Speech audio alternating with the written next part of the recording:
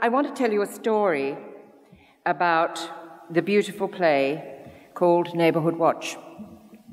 One night, a couple of years ago, a young and gifted Melbourne playwright who was making quite a name for herself at the time and whose work I admired came up to me at a party and said, I would like to write a role for you. I said, Go ahead. she said, What sort of character? I said, Tough and funny. That was the conversation, very satisfactory.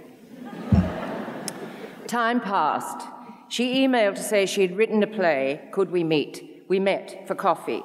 She brought me a small gift and a play, a huge fat play, which I read and loved. We kept on meeting for coffee, each time a gift, and each time a slimmer manuscript.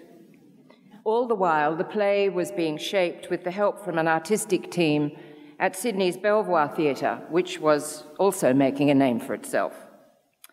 Time passed, and one day a group of eager actors and our playwright assembled in a rehearsal room in Sydney with another gifted young Melbourne artist, they're everywhere these days, a director who was also making a name for himself.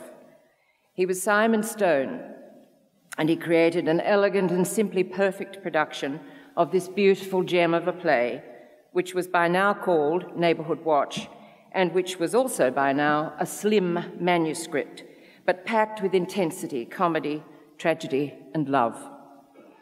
It's a suburban story set in a street in Kew, Melbourne. But for the Sydney season, we couldn't, we didn't identify it as a Melbourne suburb. But now we can. As Simon said this week, how wonderful to be finally playing this very Melbourne play here in Melbourne. And as my darling Lally Katz who wrote this perfect gem of a play, promised, she wrote a tough and funny character for me to play. The character is Anna, an 80 year old Hungarian Australian woman with a strong Hungarian Australian accent, eccentric and opinionated, who still lives here in Kew in Melbourne.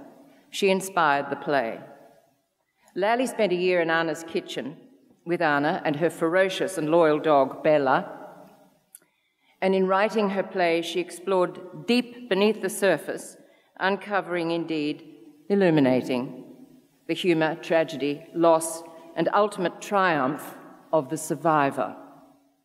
A refugee from the horrors of the Soviet takeover of her country, Anna developed the tough outer shell of a modern day Mother Courage, refusing to be dominated or compromised when she believes herself to be right, which is often.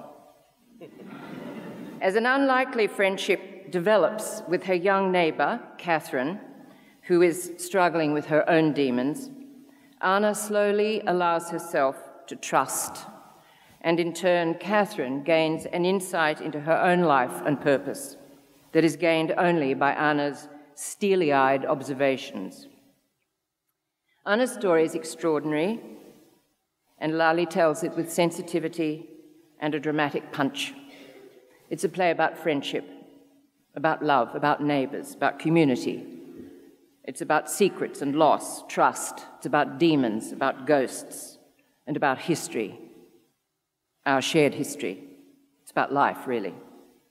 I love this play, and I love its playwright, Lally Katz, for giving me such a wonderful gift a gift that a cast of wonderful actors wants to share with you. It'll be a joy finally to bring Anna and her neighbourhood circle to the place where it belongs, her own hometown of Melbourne. I'm looking forward. Thank you.